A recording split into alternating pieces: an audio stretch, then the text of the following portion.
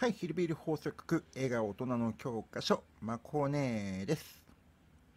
今日も、えーと、映画の情報、最新映画情報をお話していきたいと思ってます。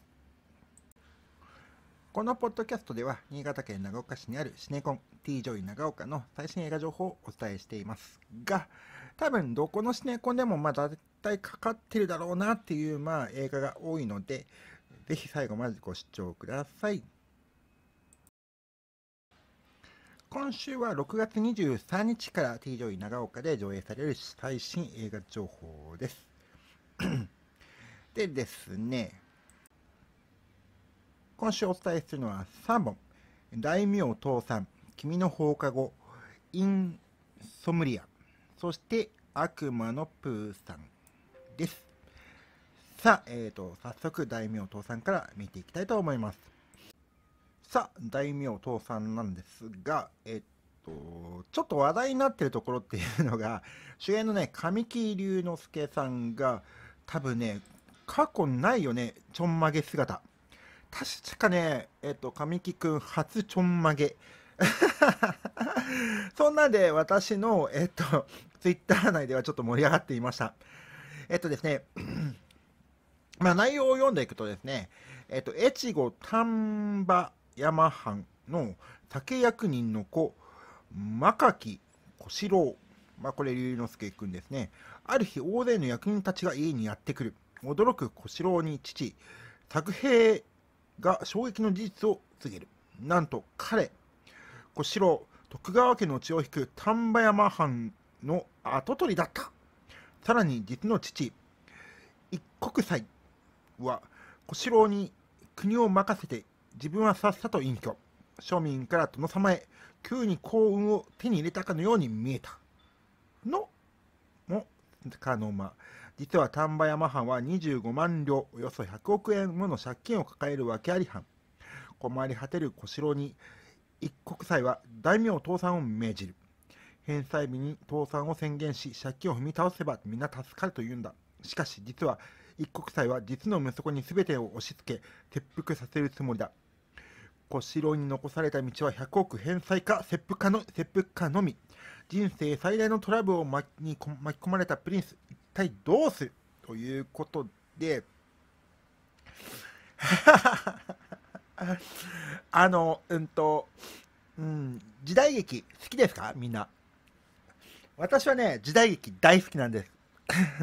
まあシリアスな時代劇も好きなんですけど、まあ、高速参勤交代みたいなね、あの、うんと、あのおちゃらけた、うんと、時代劇も大好きです。時代劇全般大好きなんですけれども、皆さん時代劇好きですか？これはどっちかというと、あのおそらくね、えーと、予告見る限り高速参勤交代みたいな、あの痛快な、えーと、ギャグ的な感じの、えーと、時代劇だと思うんですが、あのまあまあまあまあまあ、わかりますよ、私だって。この最後ね、えっ、ー、と、神木隆之介君演じるこの小四郎が、大逆転でみんなバンバン剤みたいな終わり方になります。絶対に。それは分かってる。でも、そこまで、それは分かってても、そこまでがやっぱり面白いわけじゃないですか。そう、そんなわけですね。えっと、これはね、現状ね、あんまりなんか評判になってるかって言ったら、まあ、評判になってない気もするんですが、いや、きっとね、面白いと思うんだよね。見たいな、これ。うーん、そう。まあ、えっ、ー、とね、原作はね、えっと、同名の浅田次郎さんの、えっと、小説なんですって。うん。大名お父さんっていう。そして、それを、そしてバトン渡されたのは前田哲監督は映画化。うん、なるほどね。そう。なかなか、あの、うんと、すごい俳優さんたちが、えっと、集結してますね。そう。まあ、上の木隆之介君をどう盛り上げて、どのように最後は100億をなんどうやって返済するか。まあ、これはね、やっぱできればこれこそは、あの、ネタバレをどっかで見る前に見たいな。ネタバレを知っちゃったら、これはちょっとなって思うな。と、だからね、ぜひね、あの、なるべく早く皆さんね、と時代劇好きって人は、なるべく早く足を運んだ方がいいと思います。さあ、そんなわけで、次は、ラブロマンスですね。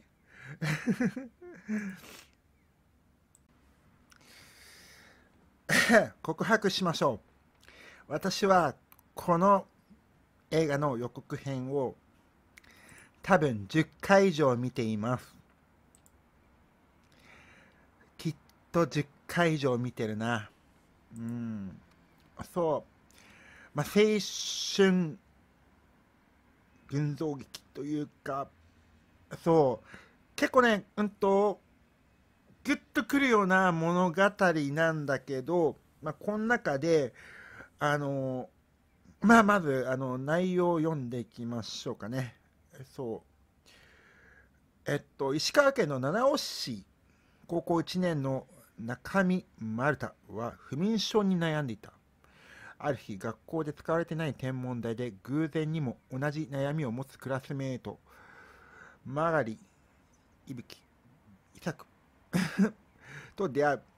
クラスではろくな、ろくに話もしたことないけど、誰にも打ち明けることができなかった不眠症という秘密をでつながり、次第に打ち解けていく。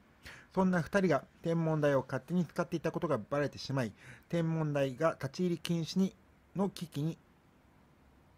なる。寂しい表情を浮かべるいびきを見たマルタは、安らげる場所を守るため、休部となっている天文部を復活を決意するっていうものなんですけど、あのね、うんと、うんと、私ね、うんと、天体観測ってものすごくあの好きなの。そう。小さい頃は、まあ、私がねあの天体望遠鏡欲しいってだだこねたから、まあ、おおお父さんがまあ無理して買ってくれたんだと思うんだけど、まあ、お父さんがね実際に天体観測をしたかっただけなのかもしれない。そう、まあ、家に天体望遠鏡があってあの、まあ、当時の天体望遠鏡って、まあ、設置して、まあ、自動で追尾する機械ををあの起動させるだけでものすごく大変だったの。今だったらね電源入れてボタン一つで自動追尾簡単にできるのにさ。うん。まあ、そんな天体望遠鏡であの初めて月を見たとか初めて自分の目で土星をの輪を見たとか、えっと、木星のあの、えっと、大赤波を見たっていうのが、まあ、小学校2年くらいの話だったかな。で、まあ、深夜あの、えっと、お父さんと一緒に、えっと、あの星を見に行ったけども、まあ、設置するだけでもう私は眠くなって寝ちゃって何も星は見れないままなんか終わったみたいな思い出もあったりするんだけどまあいつかね自分のあの小さい頃私はね結構ねあの自分の住みたい家とかを、えっと、レゴブロックとかで作ったりとかあの絵で描いたりするのが好きだったんだけどそう。まあ、それなのに建築の道には進まなかったんだけどね。そう。私が作ったレゴブロックの家とかあと描いた絵には必ずね天体天文台天体観測所観測室っていうかね天体ドームがあって、えっと、夜になるとそこが開いて、えっと、空を観測するっていうのが私の、小さい頃の夢の一つだったそう、まあ、私のね一番しっかり覚えてる小さい頃の夢はえっと、真田さんになるっていうのが宇宙戦艦ヤマトの真田さんになるっていうのが夢だったの。そう。うん。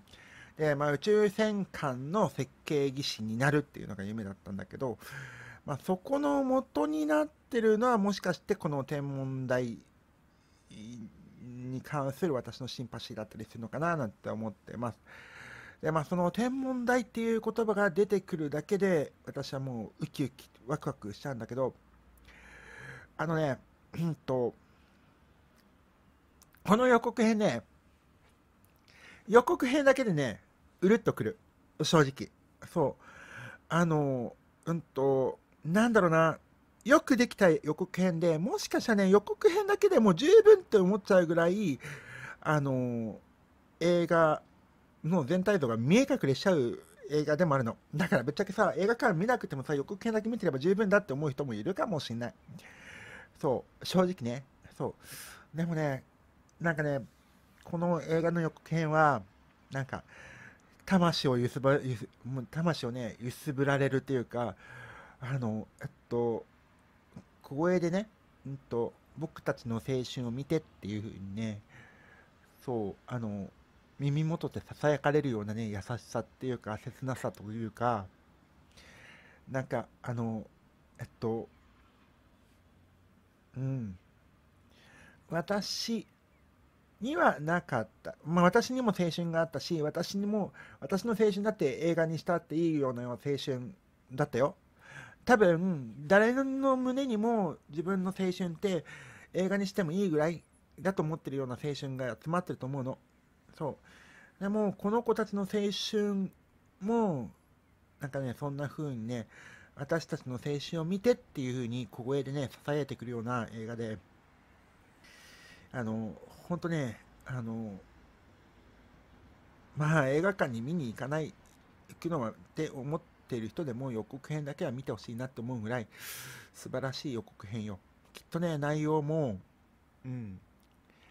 私はあの、えっと、なんだかな、あと、ハンカチじゃ足りないと思うな。私はもう、えっと、そう、ちょっと吸水性のいいタオルを持っていくぐらいじゃないとあのあかんかなって思ってる。うん。でそうアイメイクはなるべくしない方がいいから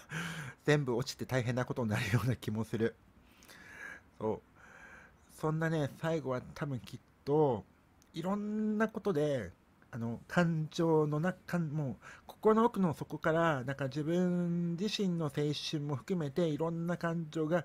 吹き出してきて涙がボロボロ流れるような映画じゃないかなって思います。なんだろう私このさあのえっとこの映画大人の教科書をあの通して映画を紹介するためになんで毎回こんなうるうるしてるんだろう。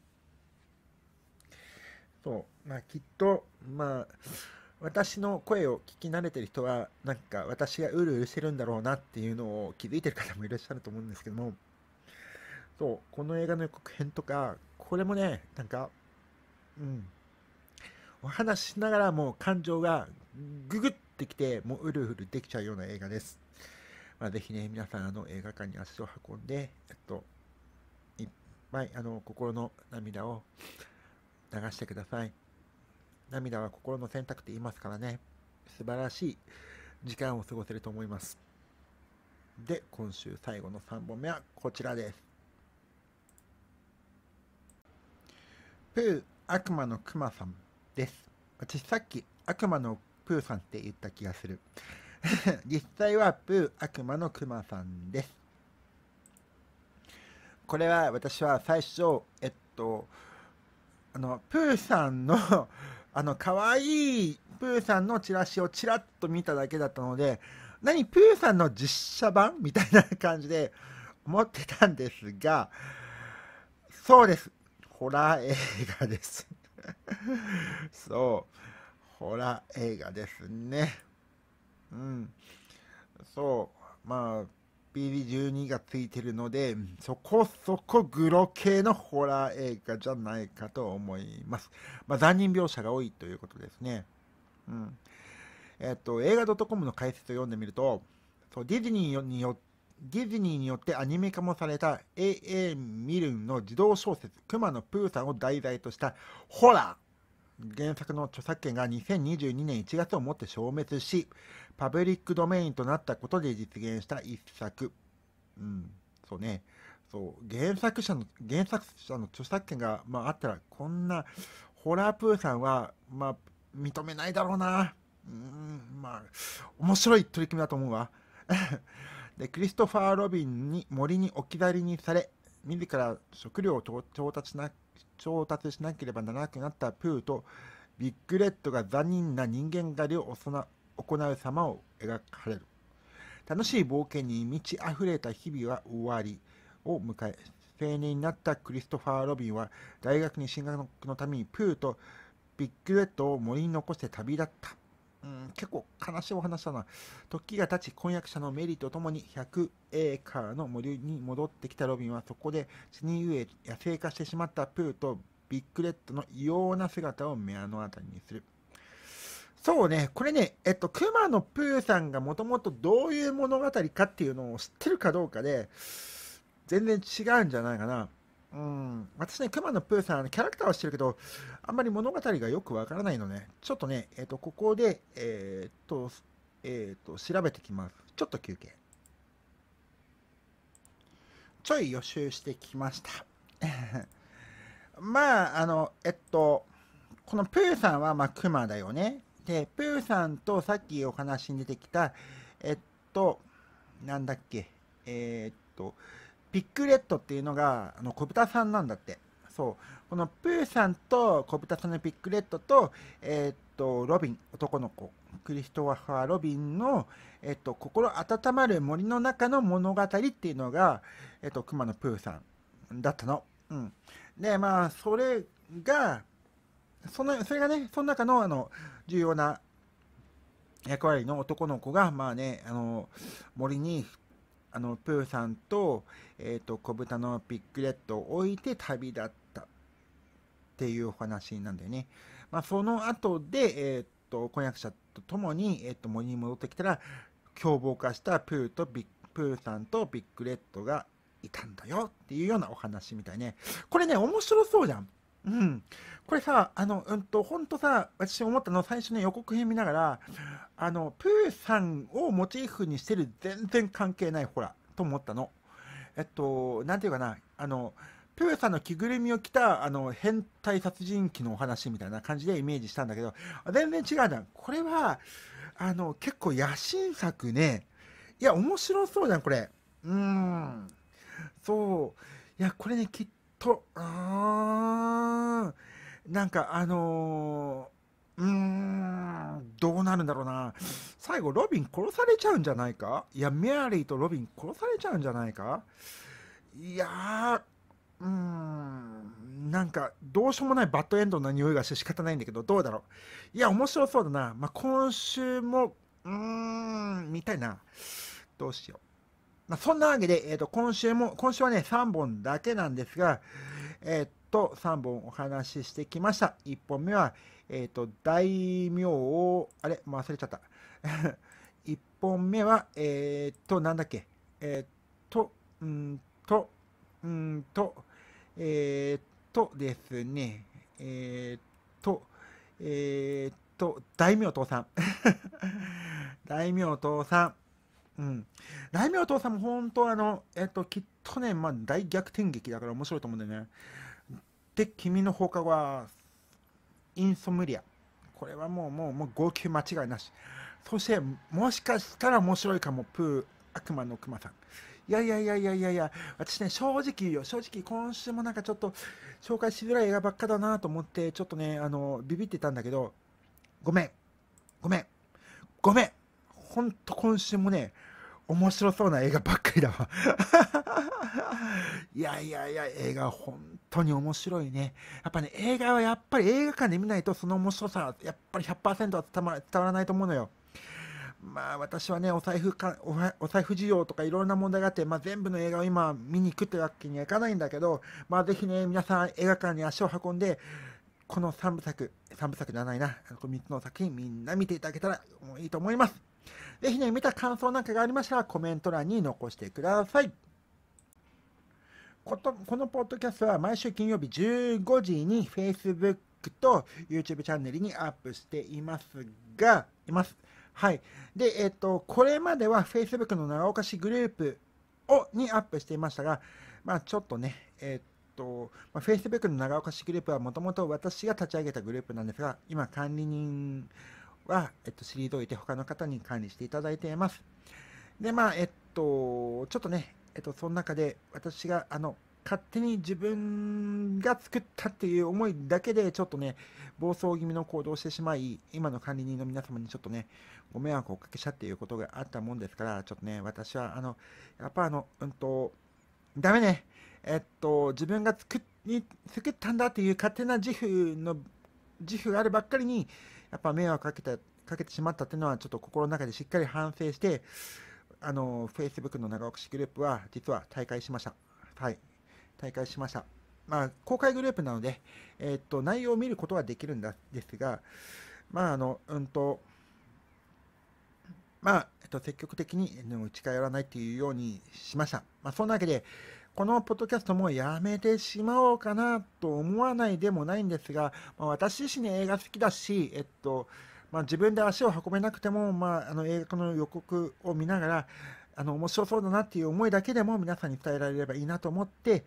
えっと、このポッドキャストは今後も可能な限り続けていこうと思ってます。そんなわけでですね、えっと、毎週金曜日15時に、えっと、配信したいと思っているので、皆さんぜひね、えっと、お楽しみにしてください。そう。まあ、あの、うんと、できれば、あの、YouTube チャンネルの方で、えっと、チャンネル登録お願いします。はい、橋本 YouTube プロ、えっと、ポッドキャストチャンネルヒルビル放送局でお送りしました。また来週。またね。バイバイ。